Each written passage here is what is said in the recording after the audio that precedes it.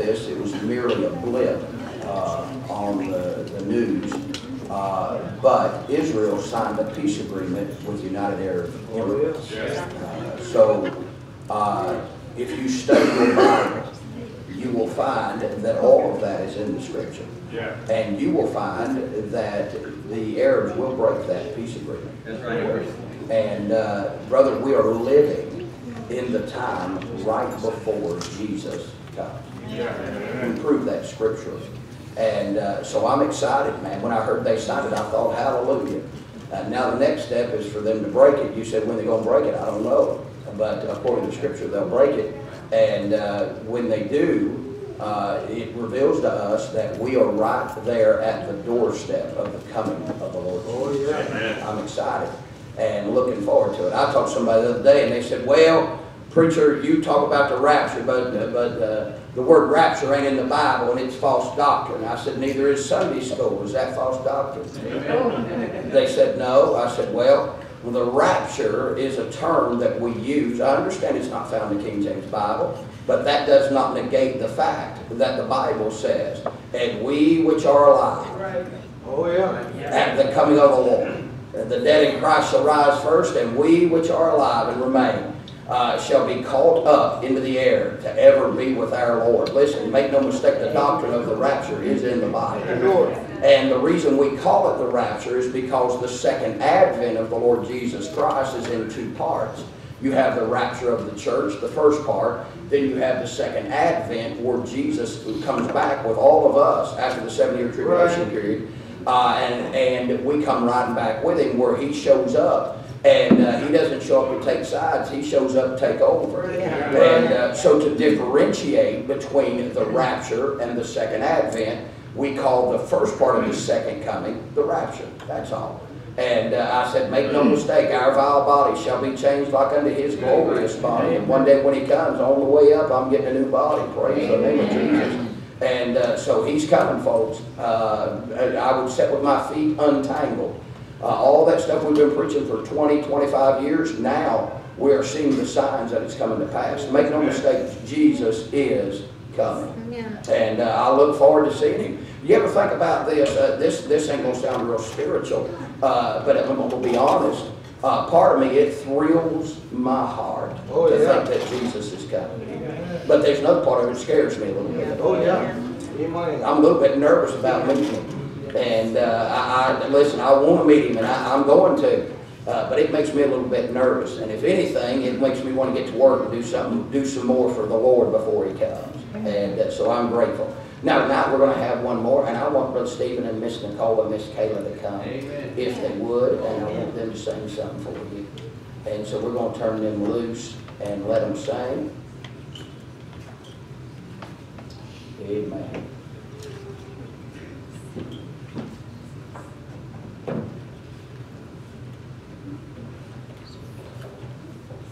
we sure appreciate them. They, they, they do a phenomenal job. We're grateful uh, that the Lord has blessed us with some yeah. phenomenal singers and, and musicians. Uh, we're grateful for it. Amen. So we're going to turn them loose and let them sing. You pray for them, okay? Uh, as they sing.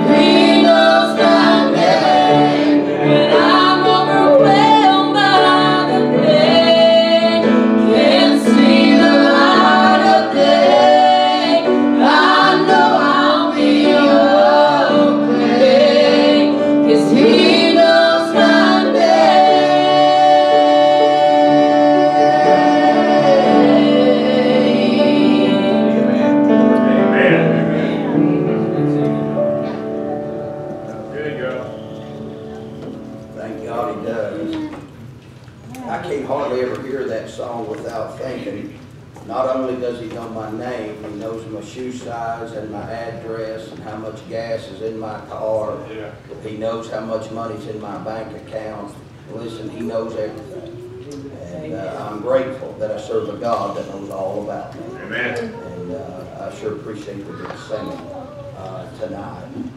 Tonight, uh, I want you to take your Bible to the book of John, the, the Gospel of John, chapter number 11. The Gospel of John, chapter number 11. Uh, I will not take the time to read the entire story. I will simply read one verse that I want to focus on tonight and try to give you what the Lord uh, gave me. It is unusual in the fact that Brother Aaron dealt with John chapter number 11 this morning. When he finished Sunday school this morning, uh, he popped in my office, and when he did, I showed him my outline for tonight. And uh, Brother Aaron said, Are you kidding me? I said, No, sir. And uh, so tonight I want to deal with the subject of Jesus wept. If you would, take a look at John chapter number 11, and I want you to look at verse number 35. John chapter number 11 and verse number 35. The Bible simply says this Jesus wept. Let's pray. Our Father, God, tonight we're grateful uh, for the service this morning. Thank you for all the visitors in the crowd. And thank you for liberty to preach and good singing. And Father, tonight uh, we need you again. Lord, we ask that you would help your people tonight use this broken, frail vessel, Lord, to touch us with power and anoint us with the Holy Ghost. Lord, and use me to help your people. And Father, you said by the foolishness of preaching, not foolish preaching, but the foolishness of preaching. It pleased God. And so, Father, tonight may you be pleased uh, to touch your unprofitable servant. Lord, I know what I am in this flesh, both no good that. And Father, tonight, if thy people receive help, instruction, guidance, encouragement, Lord, it'll be because you gave it to them. And so, Lord, while I speak to their ears, our prayer is, Father, you would speak to their hearts. Lord, I pray you bless, move, uh, do whatever needs to be done in each and every heart. Lord, one may need encouragement, while the other needs to be uh, convicted. I, I, I know not. But Father, I know that you're a God that can do all things. And so, Father, we're trusting you. We're leaning into you. We're resting in you, asking you for thy anointing power. Lord, if you don't grant it, we'll be in a for sure. And so, Father, it'll be a sounding brass and a tinkling cymbal unless you help us. And so, Father, I pray you'd marshal uh, the sweet Holy Ghost of God. Lord, and send it to meet with us. Help us and use us. And Father, whatever you do for us, we'll be careful. We'll thank you. We'll praise you. We love you for the only you're the only one worthy in Jesus' name. Amen and amen. The verse I just read to you is the shortest verse in the entire Bible. Tonight, this verse contains two simple words Jesus wept. Though it only contains two short words, it is one of the most profound verses in either testament. These two words are the most powerful words in the English language. I'd like to look at these two words by way of introduction. I'd like you to notice, first of all, the word Jesus. According to your Bible, there is no other name given among men uh, whereby we must be saved. There is no other name that has the power of this name. And the Bible says this that at the name of Jesus, every knee should bow Yeah. and every tongue confess That Jesus is Lord to, to the glory of God the Father. And tonight it is a matchless name. It is a innocent, pure name. This name is synonymous with sacrifice and love and giving of oneself. Well, the Bible talks about our Savior. He thought it not robbery to be equal with God, but made himself of no reputation. Right. How could it be that this darling Son of God, uh, the ruler and creator of this universe, would humble himself to walk among sinful men and allow them to do what they did to him just to purchase us? Hear me tonight. There is a name I love to hear. I love to sing its praise. It sounds like music in my ears. The sweetest name on earth. Hear me tonight. There is no other name whereby we must be saved. Tonight I am thankful for the Lord Jesus Christ. Uh, listen, brother, tonight uh, uh, th- that name causes the devils to tremble. Uh, tonight it'll send the devil fleeing. Uh, tonight that name will deliver, it will cleanse. Uh, uh tonight it will deliver, uh, uh, it will grant victory. tonight it is that name that, that sinners call on that are converted. hear me tonight. you know how you got converted?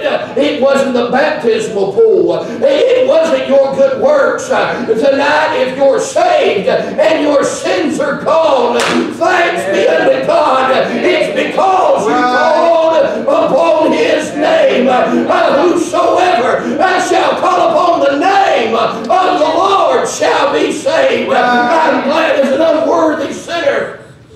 I bowed my knee and I cried out to Jesus, and Jesus washed me clean and saved my never dying soul. Uh, tonight uh, is the most powerful name in all of this universe. Amen. I'm thankful for his name. Do you know why we end our prayer with in Jesus' name? I'll tell you why, because that name carries weight into heaven. Right. Our world does not put a whole lot of I, I, I, I weight behind his name. But hear me tonight. I in, uh, in heaven, uh, in glory, uh, that name carries weight. Uh, I can't pray in my name. You know why? I'm not worthy that God should do anything for me. I'm fallen. Ah, I'm corrupt. Uh, I'm sinful. Uh, I'm, when, I, when I tack on at the end of my request, in Jesus' name, I listen, all of heaven perks there is purity, there is righteousness. And God the Father said, Now you're not worthy that I should do it for you, but when you ask for it in His name, uh, now I can get on board with that and I can answer your prayer. Why? Because of His name. I want to say thank God but for the name of Jesus tonight. Had it not been for His name, we all went to hell because of His name. There is hope for a lost and dying world. My brother, I, they can cry out uh, to the Lord Jesus Christ and be born again. Thank God for his name. Amen. And secondly,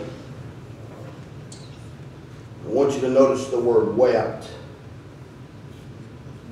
There is no other word that represents human emotion. It is the highest form of expression of emotion. When things overwhelm us, when sadness and sorrow and grief and stress get, too, get more than we can bear, tears will roll down your face. Amen. You ever had your heart so broken you couldn't do nothing but weep? Yeah. Amen. I have. Listen, tears are partially a result of living in a sin cursed world. Nothing says grief and sorrow like tears. Listen, the Bible says a broken and contrite heart God will not despise. You realize tonight that tears are a language that God understands. Right. Tonight you can go and ask the Lord to do something and He does not do it, and you can ask again, He doesn't do it. But I promise you, if you ever get a broken heart before God and the tears begin to roll down your face as you pray, and your heart's broken, you'll get the attention of Almighty God. Yes, God knows what it is uh, to shed tears, and God knows what it is to have a broken heart. Tonight, there is no greater expression of grief and sorrow and sadness living on this sin cursed dirt ball, living in this sin cursed body, than to shed tears. And it may be at the graveside of a loved one. I have preached way too many funerals in my life.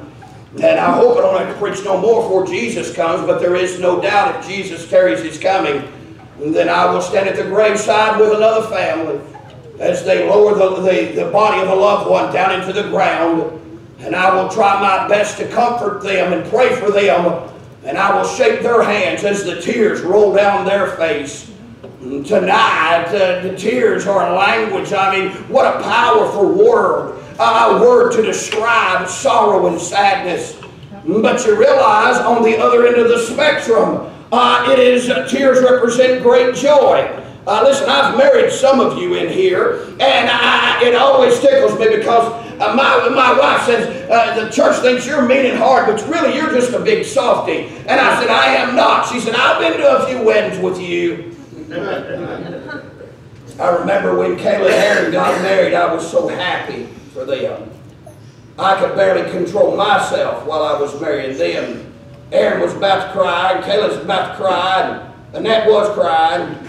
They had me all tore up. I couldn't hardly say the things I needed to say because of tears of joy. When we married Caleb and Nicole, uh, the same thing uh, as we uh, talked about their vows. And listen, something wells up in me just because I'm so excited and have so much joy. I watched all of them uh, grow up in our church, and I watched the Lord bless them and help them and do a work of grace in their heart. And now here they are, one of the happiest days of their life, and just tears of joy. I overflow. When we married Dustin and Jessica, uh, tears welled up in my eyes. You know why? Because uh, cold. No, I'm kidding. it was cold, I ain't lie. You can act spiritual if you want to. I like frozen there. Told my wife when I left the house, she said, You gonna take your overcoat? I said, I won't need it. I wasn't there three minutes. Oh, I wish have brought my overcoat.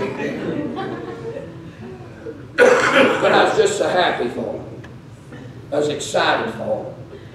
Young people starting their lives together and uh, listen, uh, uh, and, and, living for God and serving the Lord, faithful to church. And can I be honest, I'm not cried because God kept all these girls in our church. Amen. And I suppose they married some hard-headed boy and running off somewhere. Hint, hint.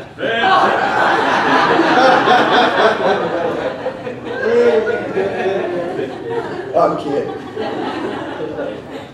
I didn't want to lose them. And the Lord worked that thing out so they married boys and stayed right here in our church. They were tears of joy. Amen. Listen, some of you know what I'm talking about. We shed tears at the worst moment of our lives.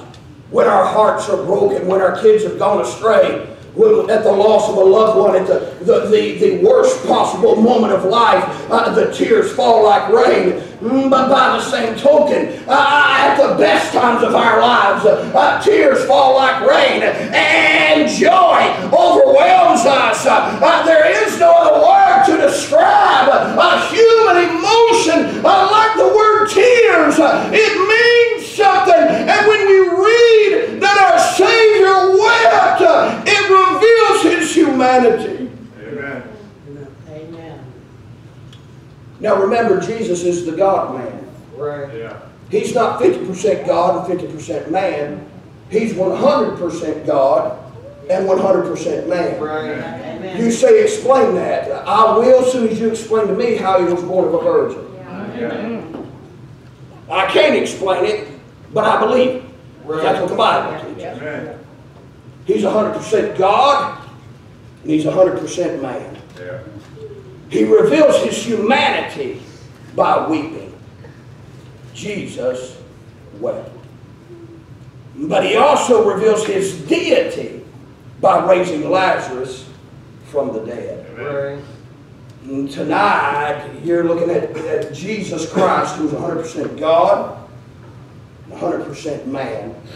And he proves it, proves both of those attributes in the text. Again, he proves his humanity by weeping, his deity by raising Lazarus from the dead. tonight one of the most powerful verses you'll ever read. Yes, it's short.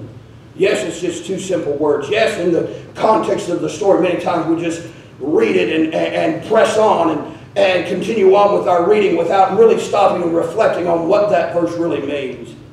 That Jesus wept. And tonight, we're talking about God in the flesh, wept with human beings. Mary and Martha have come out. They're heartbroken. They are grieved. They are wounded. They are confused. And listen, you know what they're thinking, though it may not be written in the text, you know what's going through their mind. Jesus, we loved you. We fed you. You've had dinner at our table. And Lord, uh, you have gone away. Lazarus has gotten sick. We send for you. And Lord, you did not show up when we wanted you to. Right. And you, you, as a matter of fact, it's even voiced in the text. She said this Lord, if you'd been here, our brother Lazarus had not died. You will find that Jesus wept. Tonight, that's what I want to preach on, briefly. Why Jesus. What could draw such emotion from the Savior? What would cause the God of this universe to weep? Was it because he was helpless? Absolutely not. We know it from the text because he ends up speaking Lazarus' name. And somebody said, why did he call Lazarus by name? Because if he'd have just said, get up, the whole crowd would have got up. Right. So he calls him out specifically. And so we know it's not because of his helplessness. Many times we cry in this flesh because we are helpless to remedy a situation, whether it be for ourselves or for someone else. We are overcome because we don't have the ability but to fix the problem before us. But that is not the case with our Savior. Right. He not only can he fix it, he does fix it just a few verses later. It was not his helplessness that caused him to weep. You say, well, he weeps because uh, of Lazarus, that he loved him. Nah, that don't hold water either. Because you'll find he raised him from the dead, and then in chapter number 12, verse number 1, you'll find he's sitting down fellowshipping with him. Right. Tonight, the question is, why did Jesus weep? The answer tonight is simple. It's one word. Compassion. Because Mary and Martha were hurting. Jesus was hurting. Because they were brokenhearted, Jesus was broken. Right. Amen. Tonight, the Lord wept because his people were hurt. Hear me tonight. My point is simply this. When you hurt, he hurts. Tonight, many times as we go through trial and trouble and, and difficult situations, we feel like the Lord is a million miles away. But tonight he is not. He is on your side and he loves you so much and he commiserates with you. Tonight he knew what he was going to do. He knew he was going to fix the problem, but because they were heartbroken and wounded, it wounded our Savior because of his love for Mary and Martha. Tonight, there is no greater demonstration of the love of Jesus outside of Calvary than John 11 35, where Jesus wept.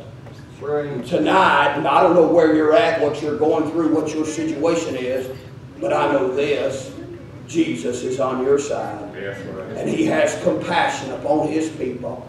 And he cares what you care about. You- You listen to me tonight. Others may not care what you're going through. Others may give you a, may, may kind of just pass it off like it's not a big deal. And they say, well, well we'll pray about that. And, and they kind of go on about their way. But hear me tonight. Jesus cares. Amen. The old song says, Does Jesus care? Oh, yes. I know He cares. And tonight I wanted to remind you of the, the, the compassion of our Savior. Jesus cares enough that He would weep with those, even though He knows it is a temporary situation. Right. Amen.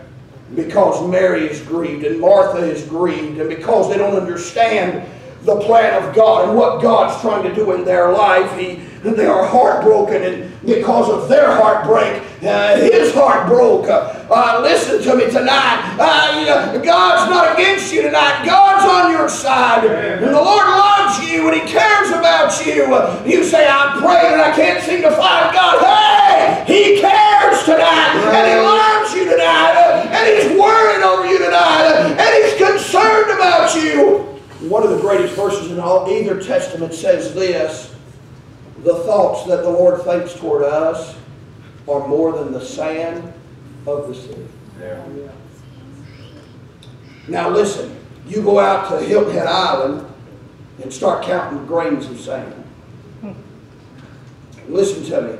The Lord thought about you more than all the grains of sand on Hilton Head Island Amen. today. Tonight you may feel alone, you may feel forsaken, you may feel forgotten, you may feel like God has turned his back on you or God's against you, but uh, hear me tonight, he is a God of compassion and he loves his own. Yes, he knows victory's coming. Yes, he knows right. what he's going to do down the road. But tonight, uh, he is commiserate and he is compassionate toward those that are his. Tonight you are not fighting the battle alone. Tonight He is on your side.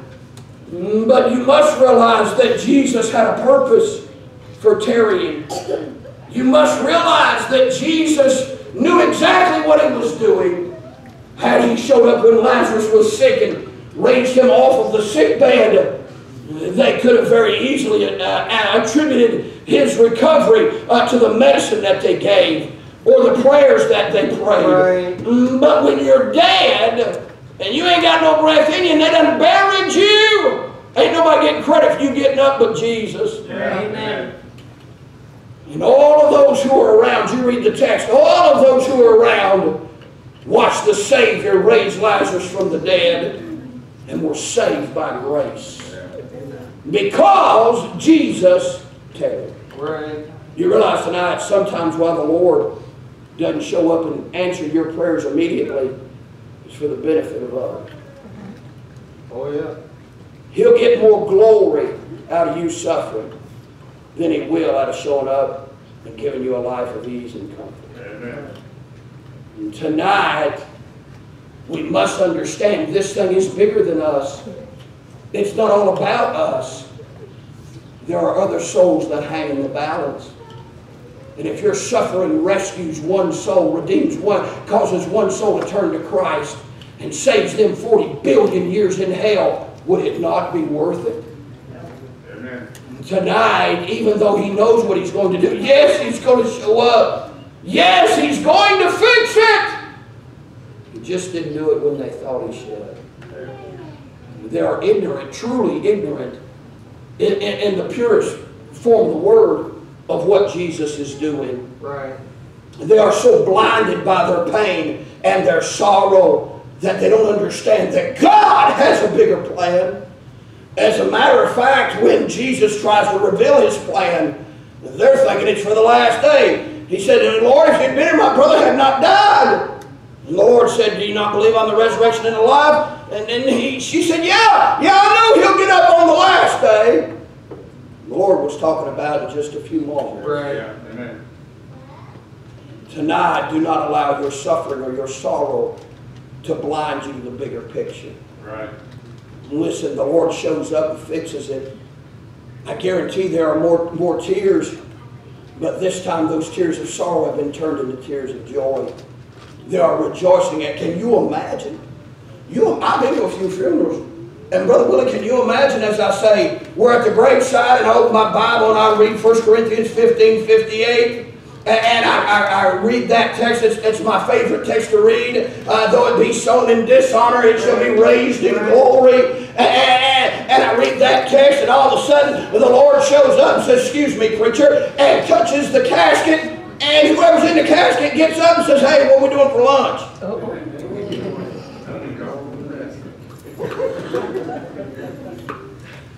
Can you imagine what joy there would be with the family? That's what happens with Lazarus. Hear me tonight. My point is this no problem you face is too great. No sorrow that you bear is too heavy for the Lord to live. Jesus is a God of compassion, and He loves you tonight. And tonight, no matter what you go through, no matter where you are, the Lord is on your side. Yes, sir. Amen. The Lord reveals His love for His people, even though it is a temporary problem. He weeps with them, and He sorrows with them. Because there's, listen, He doesn't weep over the problem, He can fix the problem. He weeps over their broken heart. They hurt, He hurt. Amen. And tonight, I just came to encourage you that Jesus still loves you. Jesus is on the throne. Jesus has not forgotten you. I can imagine uh, Noah as he's building the boat. We find that God speaks to Noah about building a boat. But we don't find where the Lord speaks to him again till the boat is at completion. Right. 120 years, Noah took the mocking and the laughing and, people making fun of him.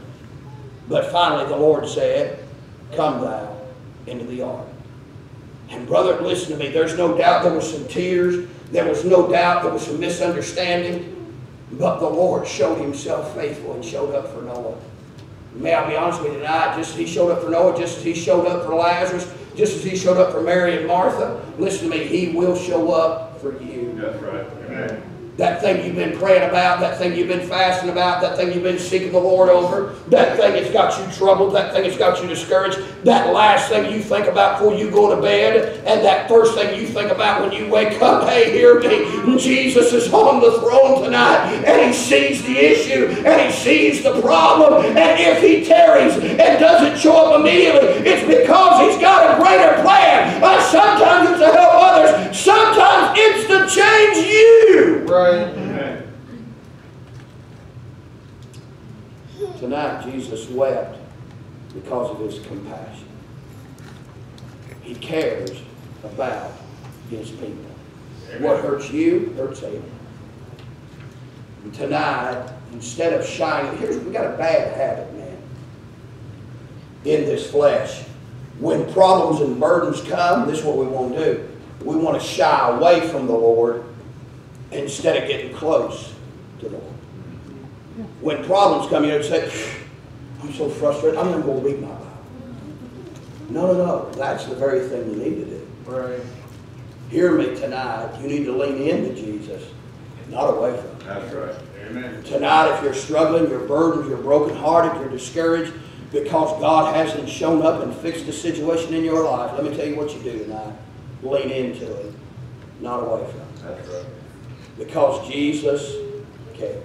Amen. He loves you. He gave himself for you. Listen, if he loved you enough to die for you, don't you reckon he loves you enough to take care of you? Amen. May I say this? Has the Lord not proven himself faithful all of these years? Oh, yeah. Has he not over and over and over showed up? Maybe he don't show up when we want him to. Maybe he don't do it the way we want him to. But hear me tonight, he always shows up and he is always faithful. Right. Amen. My point is this, just keep praying. Some of you got lost loved ones, you're grieved and you're discouraged. Hear me, just keep praying. God knows where you're at and God will provide. And tonight, you got young people going through difficulties and kids having problems and you got financial struggles and difficulties and problems and you're wondering, where's the Lord? Why the Lord showed up? But hear me tonight, Jesus is faithful. His compassion is revealed. Here's the God of the universe could have let us die and go to hell. Amen. He didn't have to save you. That's right. Amen. He didn't have to convict you. Right. He could have let you be born in Africa, beating a tree against a stick and call that worship. He very well could.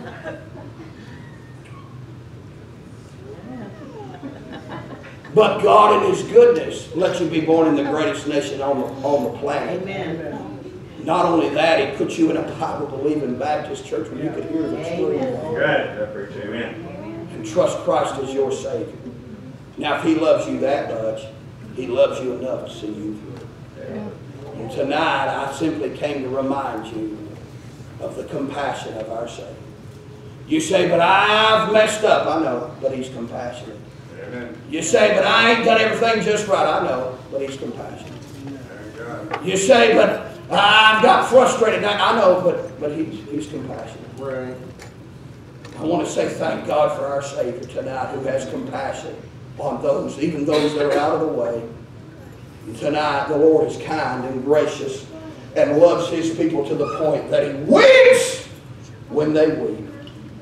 But may I say this, I'm sure He rejoices when we rejoice. And tonight, Jesus wept because He cared. Right.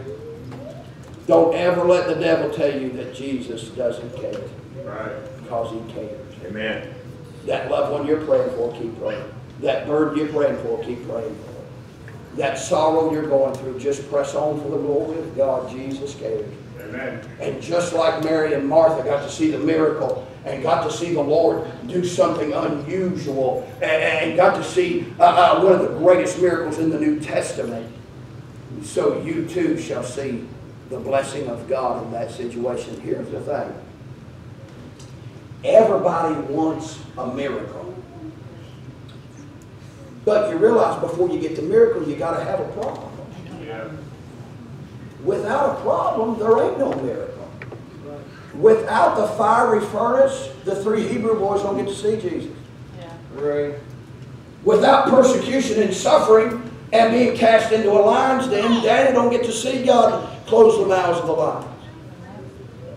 When the children of Israel come out and they're, they're trapped at the Red Sea and they're freaking out, and they got to see the Lord open up the Red Sea and they crossed on dry land and watch the Red Sea close up on their enemies. You don't get that kind of miracle without a problem. Tonight we uh, we fret, worry over the problem. We don't want the problem, we just want the miracle. But without the problem, there is no miracle. Yeah. You're right. Amen.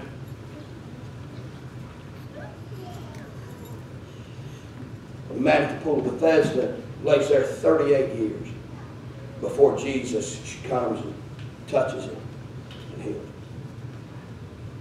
Tonight, you're just in the beginning stage. You're just in the problem stage. Mary and Martha was in the problem stage. But then the Lord showed up and raised him from the dead. Tonight, that what the Lord did there, he can still do. He ain't changed. Right. And while you're suffering, He is compassionate and He commiserates with you. You know what the Bible says? That our Savior is touched with the feeling of our infirmity. Tonight, Jesus is on your side. You can trust Him. You can believe Him. And tonight, just as He did something miraculous for them, He'll do something miraculous for your loved one. Right. He'll do something miraculous for your finances. He'll do something miraculous for that struggle. He'll do something miraculous in your marriage. He'll do something miraculous. He's in the miracle working business. That's who he is. Amen. Right. Tonight, I just came to tell you that Jesus is still compassionate to his people. Yeah. I don't know what you're going through. I don't know what your need is. But I know there's a Savior in heaven that commiserates. And, and, and listen, he's touched by the feeling of our infirmity. When we're heartbroken, he's heartbroken. When we're discouraged, he, he feels that. Tonight, you can trust him. He'll show up after a while. And so I said all that to say this. Hang in there, child of God. Keep praying. Keep serving. Keep living for Jesus. And let the Lord show up somewhere down the road. You'll be glad you did. Amen. Right. Tonight, as we stand, maybe you're facing a particular problem. Maybe it's physical. Maybe uh, it's financial. Maybe it's marital. I don't know what your problem is tonight. Maybe there's something you've been praying about. Maybe it's a lost loved one. I don't know what situation you find yourself in. But I know this. The Lord loves you. And the Lord cares about your problems. And tonight, if you need to come, why don't you come? Bring that thing to Jesus. People are already moving. Why don't you come? Bring that problem, that burden to sorrow to your Savior. Here's what he said, casting all your care upon him, for he careth for you. He cares tonight, child of God. He loves you tonight. He's able tonight. He sees the struggle, he sees the burden, and he cares. Yes, he cares. Tonight he wants and wishes to help. He wants to provide strength and encouragement along the journey. Tonight, if you'll bring it all to him, he will take care of it. Tonight, you can come until you get your answer. You can find peace and joy until he shows up and does for you what you want him to do. And tonight, if you need to come, you come, Father. I'm thankful that Jesus wept. What a powerful verse. What a revelation of truth that you care. It matters to you. And Lord, you commiserate with our sorrow, our sadness, our broken heart. I'm grateful, Lord, that we serve a Savior that can be touched with the feeling of our infirmities. I'm glad you understand. Lord, I'm glad you'll provide help and hope and relief until our answer comes. May you help your people tonight. May you bless your people tonight. May you encourage them, Lord, to, to lean into Jesus tonight. And Father, we'll thank you. We'll praise you, whatever you do. In Jesus' precious name and for his dear sake, we ask and pray. Amen and amen.